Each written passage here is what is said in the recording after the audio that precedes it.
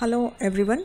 Today we will be discussing about the types of the Reed-Sternberg cell in this video. In my previous video I have already discussed about the pathogenesis of the Hodgkin's disease and in that we have discussed that the tumor cell in the Hodgkin's lymphoma is the Reed-Sternberg cell. Now in this video we'll be discussing what are the different variants of the Reed-Sternberg cell and in which type of the Hodgkin's uh, lymphomas we'll be finding this Reed-Sternberg cell.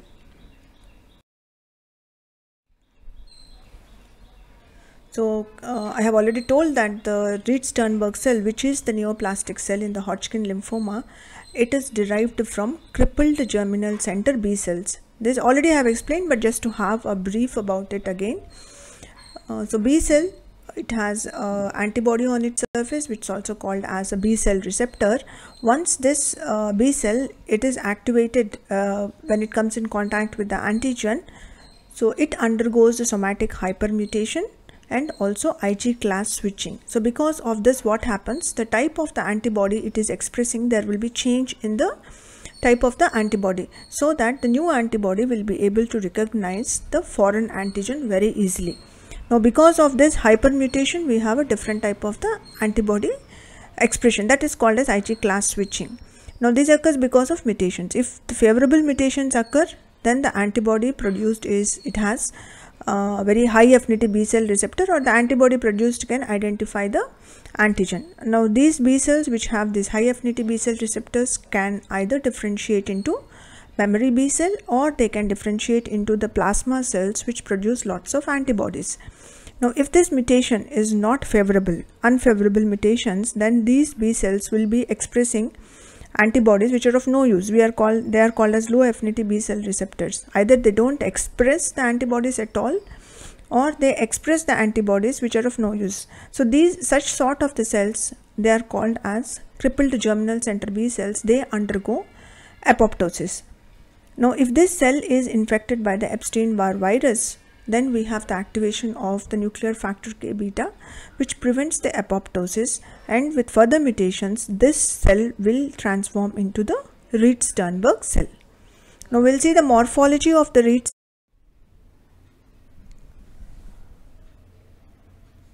this Reed-Sternberg cell which is the tumor cell it has uh, been described by the two physicians. The morphology of the Reed-Sternberg cell was described by the two physicians namely Dorothy Reed Mendenhall and Carl Sternberg. Now, the Dorothy Reed Mendenhall, she was, uh, she is the person. She is a pediatric physician from the John Hopkins School of the Medicine. She was the first female to do the medicine from the John Hopkins School of the Medicine. Now, both this uh, Dorothy Reed Mendenhall and Carl Sternberg, they used to do the study on the tuberculosis patients, and even the Carl Sternberg used to do the study on the tuberculosis and leukemia patients also. So both these uh, physicians, they used to study the lymph nodes and they found that few patients who had the lymphadenopathy, the histopathology of them were showing some different cells. Along with uh, the mixed population of the cells, there were some large cells.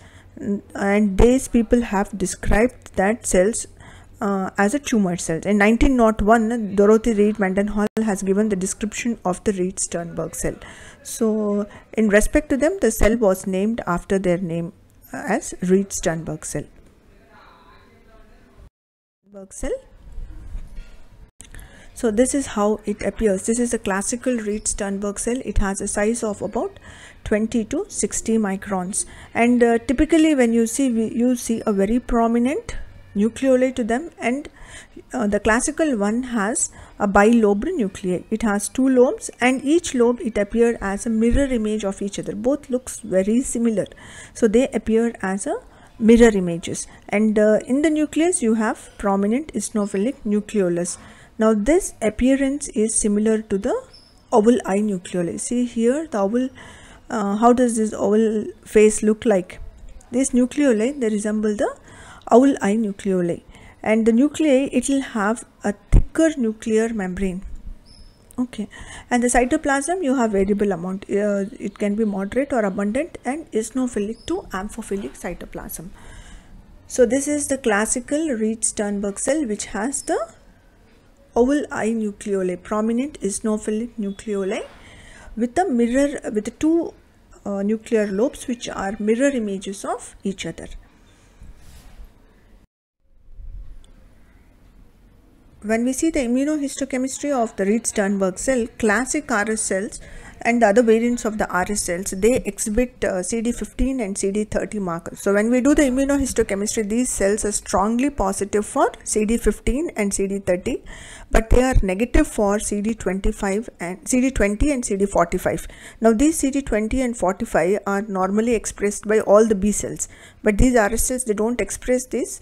They only express CD15 and CD30 and in the variants of the RS cells, one of the variant which is the lymphohistiocytic variant that is uh, specifically CD20 positive and it is negative for CD15 and 30.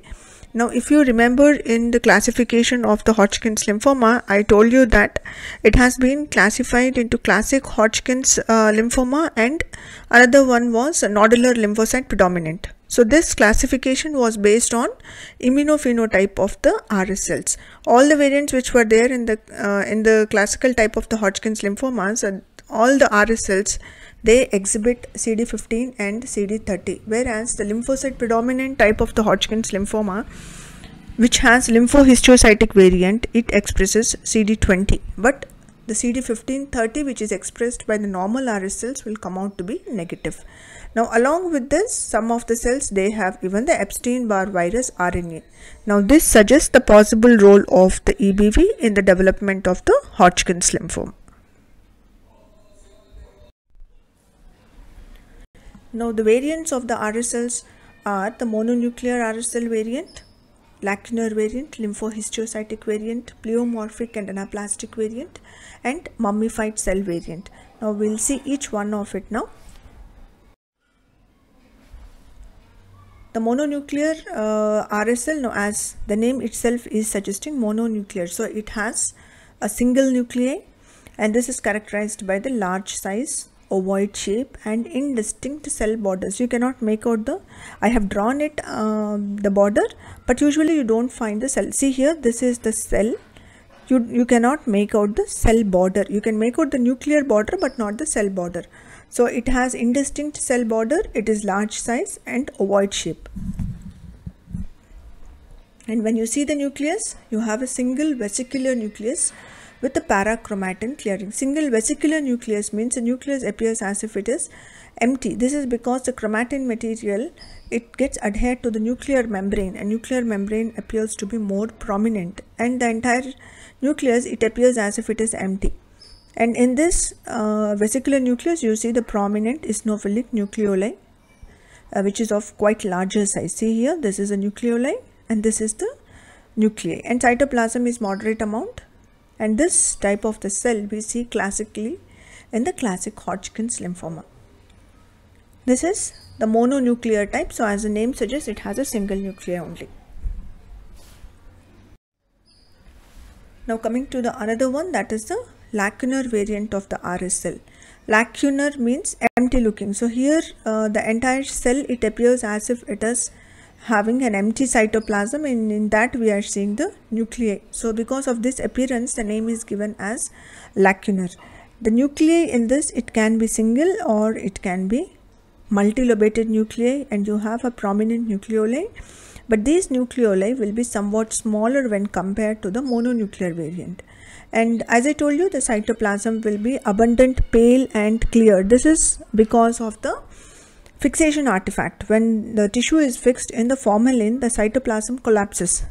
And when the cytoplasm collapses uh, it retracts and uh, a clear space appears in between the retracted cytoplasm and the cell margin you have a cytoplasm here retracted cytoplasm and this is cell margin so the clear space appears this is because of the fixation artifact so this gives the appearance as if nucleus is sitting in a clear space or the lacuna. That's why it's called as lacunar variant of the RS cells.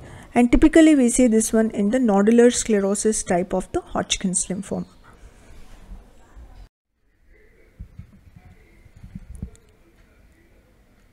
The next type is lymphohistiocytic variant which is also called as popcorn cell now here the name popcorn cell variant is given depending upon the appearance of the nuclei. If you see the nuclei here it is lobulated and it appears as if it is like a popcorn kernel. So you have a multilobated nucleus which, simul which simulates the popcorn uh, kernel. In this, another important thing is the nucleoli, which we see here. Uh, in the normal RS cells, we have a very prominent uh, eosinophilic nucleoli, but here the nucleoli will be inconspicuous or it will be small and punctate nucleoli. Cytoplasm it will be moderate to abundant cytoplasm and the IHC expression is very particular in this cell. As I told you these cells express CD20 marker and these cells are negative for CD15 and 30 and this type is uh, lymphohistiocytic variant or popcorn cell variant is characteristic feature in the lymphocyte predominant type of the Hodgkin's lymphoma. Now next one is the pleomorphic or the anaplastic variant. So as the name suggests, cell itself appears more pleomorphic. So it has uh, the nuclei which has a coarse chromatin and uh, it will have a very prominent nucleoli. Sometimes you can have the cell having the hyperchromatic nuclei. It can have a single nuclei which is hyperchromatic with prominent eosinophilic nucleoli or it can be multilobated also uh, which will have a coarse chromatin but it will have the prominent nucleoli and this we typically see in the lymphocyte depleted type of the Hodgkin's lymphoma. Next one is the mummified cell variant. Now this is a degenerated or apoptotic RS cell that may occur singly or in the cluster. See this one, this is the cell which is undergoing the apoptosis. If you remember the apoptosis, any cell which is undergoing the apoptosis, it will have dark pink eosinophilic cytoplasm with darkly staining pycnotic nucleolus, so, nucleus. Similarly, we have this type of the cell which is having abundant eosinophilic cytoplasm. Uh, very dark pink cytoplasm we are having. Uh, so these cells, uh, they have dense pycnotic nucleus. You have a dense pycnotic nucleus that may sometimes have nucleolus or may not have the nucleolus. But typical feature is very much eosinophilic cytoplasm it has. Now this doesn't uh, specify a specific type of the lymphomas but if it is present in the when you are studying about the lymph node uh, histology and you see such sort of the cell it indicates that it can be the Hodgkin's lymphoma but it is not specific for any type of the Hodgkin's lymphoma. So that was about the variants when you see the summary we have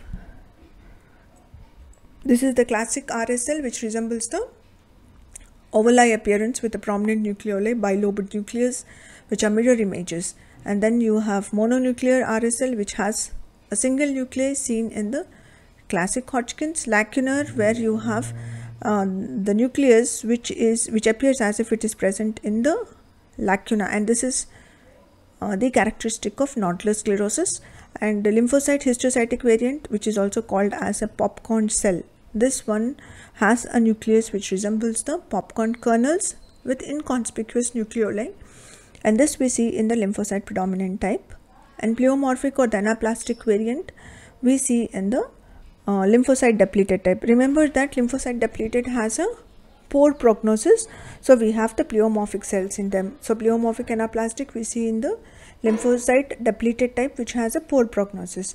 Mummified cell variant you have uh, the cell which is having dark eosinophilic staining uh, cytoplasm with the pycnotic densely uh, stained chromatin. Uh, the nucleus nucleolus may be present or may not be present. So these are the five types of uh, the variants of the RS cells.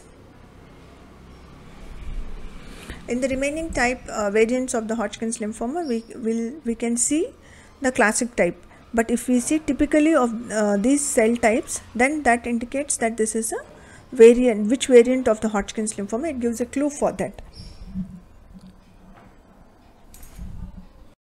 So that finishes about the types of Hodgkin cells. In the next video I'll be discussing about the uh, variants of the Hodgkin's lymphoma or subtypes of the Hodgkin's lymphoma.